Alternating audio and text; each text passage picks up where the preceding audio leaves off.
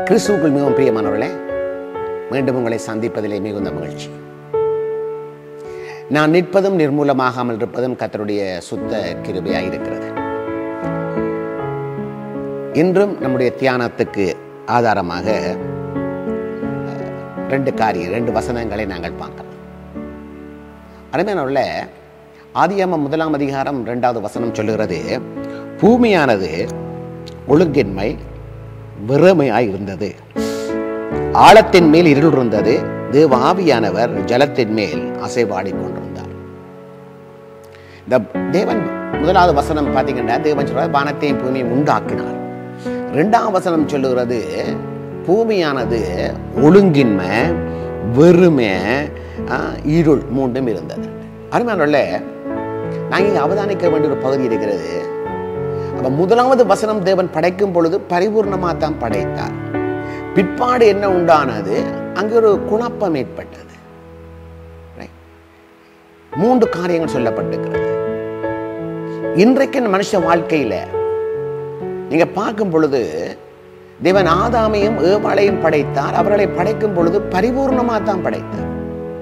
குறைபற்றவர்களாக பெர்ஃபெக்டாக தான் படைச்சார். ஆனால் நடந்தது என்ன தெரியுமா? பிசாசானவன் அவனுடைய வாழ்க்கையை கெடுத்து விட்டான். பிசாசானவன் ஆதாம் வாழ்க்கையை கெடுத்து அங்க என்ன உண்டானது? தேவ பிரசன்னத்தில் இருந்து அவர்கள் தள்ளப்படுகிறார்கள். இன்றைக்கும் தேவன் மனுஷனை மீட்டெடுத்திருக்கிறார். தன்னுடைய இரத்தத்தினால் எங்களை மீட்டெடுத்து பூரணமராளாக நீதிமான்களாக பரிசுத்தவான்களாக அவருடைய சமூகத்திலே தேவன் நம்மை நிலைநிறுத்தி வைத்திருக்கிறார். இந்த உணர்வு நமக்கு இருக்காதபடி நாங்கள் பாவிகள் அல்ல நாங்கள் நீதிமான்கள் நாங்கள் தேவனுடைய இரத்தத்தினால் மீட்கப்பட்ட பரிசுத்தவான்கள் என்கிற எண்ணம் நமக்கு இல்லாதபடிக்கு இவைகள் எல்லாம் என்ன செய்கிறது? சாத்தான் வந்து நம்மை குழப்பி விடுகிறான்.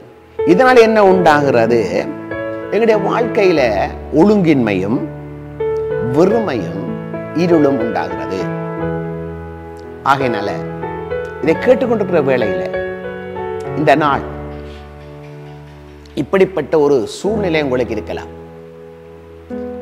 முதலாவது ஒழுங்கின்மை வேலை ஸ்தலத்தில் ஒழுங்கில்லை.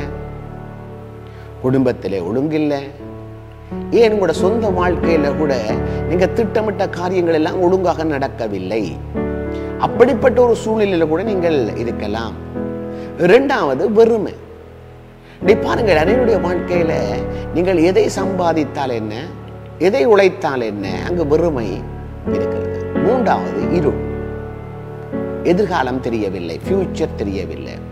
ஸோ எனக்கு அருமையானவர்களே இந்த சூழ்நிலையை மாற்றுவதற்காகத்தான் தேவன் வெளிச்சம் உண்டாக கடவுள் வேதம் சொல்றது கர்த்தர் என்னவா இருக்கிறார் அவர் ஒளியாக இருக்கிறார் ஸோ இந்த நாளிலும் கூட நீயும் நானும் அந்த கர்த்தராய் இயேசு கிறிஸ்துவை நோக்கி பார்க்கும் பொழுது அந்த ஒளி உங்களை பிரகாசிக்கப்பட்ட யோவான் சுசில் சொல்லப்பட்ட பிரகாரமாக இயேசு கிறிஸ்துவை அந்த மெய்யான ஒளி அவர் எல்லாரையும் என்ன செய்கிறாரா? பிரகாசிக்க பண்ணுகிறார் இயேசுவாண்டை வாங்க.